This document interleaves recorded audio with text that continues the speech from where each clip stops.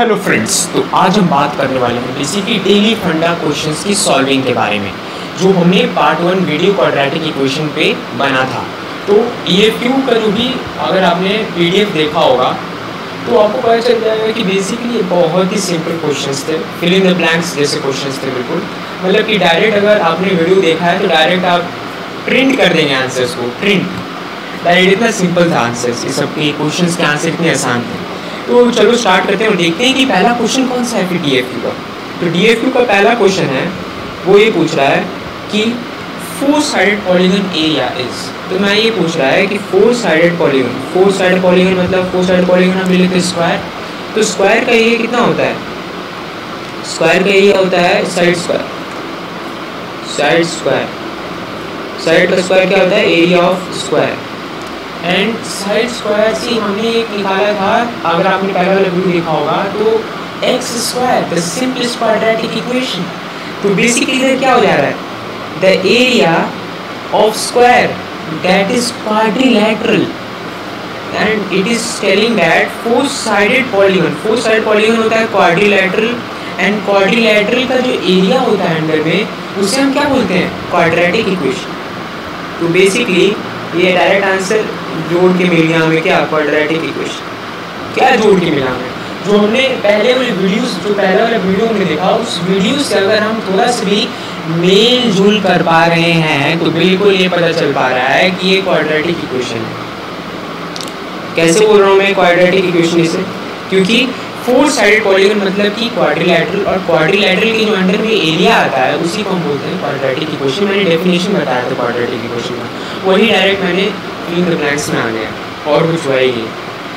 Second जो है कि सिंपलेस्ट क्वाड्रेटिक इक्वेशन इज़ अब यार इससे पहले ही बताया इससे पहले बताया, इससे पहले वाले क्वेश्चन भी मैंने बताया कि स्क्वायर जो है स्क्वायर के एरिया अगर एक्स है तो इस एक्स इसका लेंथ है तो इसका जो एरिया होगा वो एक्स स्क्वायर होगा, और एक्स स्क्वायर हमारा सिंपलेस्ट क्वाड्रेटिक इक्वेशन है, जिसमें हमारा A is equals to one होता है B is equals to zero होता है, और C is equals to zero होता है।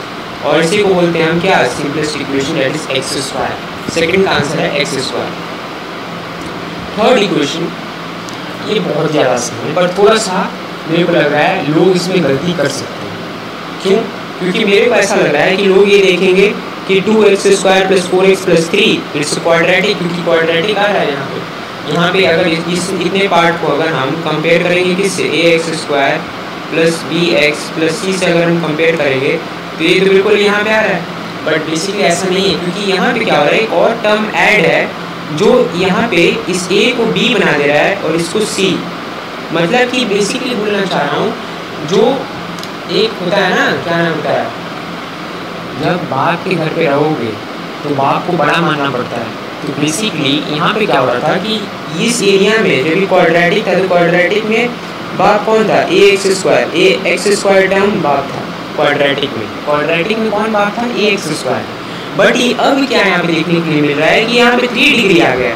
और थ्री डिग्री इससे भी बड़ा है क्वाड्रेटिक से बड़ा, और इसे बोलते हैं हम क्या बोलते हैं? क्यूबिक और यहाँ पे क्या हो जाता है कि ए एक्स स्क्वायर तो क्वाड्रेटिक में बाप क्यूबिक में कौन बाप है? क्यूबिक में कौन बाप है? एक्स क्यूब तो बेसिकली क्या हो जाता है इधर कि हमारा ए यहाँ पे ये आ जाता है और ये क्या हो जाता है? यहाँ पे ए यहाँ पे ये ऐड हो जाता है। A X cube A X cube हो जाता है इधर टर्म और ये एक ए एक्स क्यूब टर्म इधर ऐड हो जाता है और ये जो सी होता है डी हो जाता है। और कुछ नहीं थी यहाँ पे जो पूरा का पूरा जो टर्म बनता है, पूरा का पूरा जो पूरा का पूरा जो बनता है, ये जो इक्वेशन बन रहा है, ये इक्वेशन कौन सा है? कौन सा पॉलिनोमियल बन रहा है? ये बन रहा है क्यूबिक पॉलिनोमियल क्योंकि क्योंकि यहाँ पे क्या होता है कि थ्री डिग्री पॉलिनोमियल क्या हो जाता है? बाप बन जाता है बाप. बाप कौन होता है? जिसके पास डिग्री ज़्यादा है, और पहली बात समझ जाओ पोलिनोमियल में कौन बात है? पोलिनोमियल में बात वो है जिसके पास ज़्यादा डिग्री है। और डिग्री किसके पास ज़्यादा था ए एक्स क्यू थ्री सबसे ज़्यादा डिग्री है इस पूरे पूरे, इस पूरे पूरे इक्वेशन में सबसे ज़्यादा डिग्री किसके पास है? क्यूब के पास थ्री ए एक्स क्यूब के पास सबसे क्या है? डिग्री इसी को हम क्या मान लेंगे? इसी के अनुसार से हम क्या बोलते हैं? इसी के अनुसार से। जो बात होता है, उसी के अनुसार से बताते हैं कि इसका आगे वाला वंश कौन होगा? ये किसका वंश है? ये बोला जाता है क्या, ये किसका वंश है? ये जो इक्वेशन ये किसका वंश है? ये क्यूबिक का वंश। जैसे हम बोलते हैं क्या है? क्यूबिक पॉलिनोमियल इसे बोल सकते हैं हम क्यूबिक इक्वेशन बोल सकते हैं। इसे बोल सकते हैं हम क्यूबिक इक्वेशन तो क्यूबिक इक्वेशन ये है। पर यहाँ पे क्या है कि क्वाड्रेटिक इक्वेशन पूछ रहा है। X cube plus two X square plus four X plus three is a quadratic equation नहीं, बिल्कुल नहीं, क्योंकि ये क्यूबिक इक्वेशन यहाँ पे क्या हो जाएगा? फॉल्स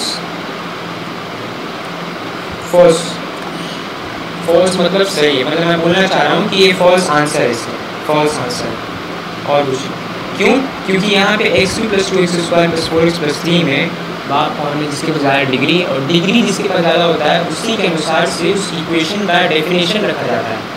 तो यहाँ पे डेफिनेशन क्या रखा जा रहा है? क्यूबिक इक्वेशन अब फोर्थ क्वेश्चन जो लास्ट क्वेश्चन था हमारा ये पूछ रहा है कि if area if area is मैंने क्या बताया था? Area of area of square क्या है? एक्स स्क्वायर और ये एक्स स्क्वायर क्या हमारा? क्वाड्रेटिक इक्वेशन पर मैं क्या पूछ रहा हूँ कि अब मैं पूछ रहा हूँ यहाँ पे कि वॉल्यूम फिर क्या होता होगा? वॉल्यूम कौन सा इक्वेशन होता होगा? तो वॉल्यूम देखो इधर क्या होता है। ये मैंने यहाँ पे बनाया स्क्वायर और फिर देखो इधर क्या हो रहा है। यहाँ पे यस ये हमारा वॉल्यूम है।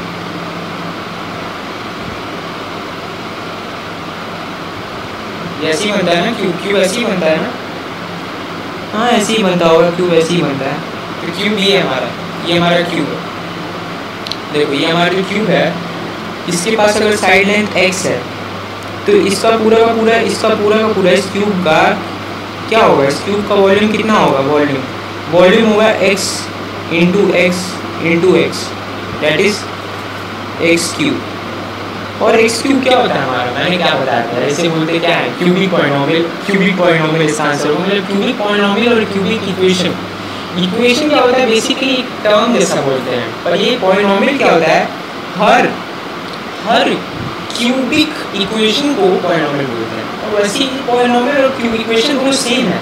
इसमें कोई डिफरेंस डिफरेंस कोई बड़ा डिफरेंस नहीं है। तो बेसिकली आप उन सब लोग समझने के लिए मान सकते हो कि पॉलिनोमियल एंड इक्वेशन सेम होता है। Definition equation and polynomial same होता है।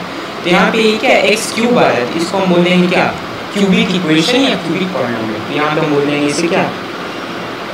इसका आंसर हो जाएगा क्यूबिक तो फोर्थ आंसर क्या है? क्यूबिक पॉलिनोमियल मतलब एरिया कितना एरिया वो हमारा एक्स स्क्वायर बट वॉल्यूम क्या होगा? एक्स क्यूब तो क्यूब क्या होता है? थ्री डिग्री है और थ्री डिग्री को हम बोलते हैं cubic and that's why it is a cubic polynomial तो ये था हमारा D F U solving so subscribe our channel deck teachers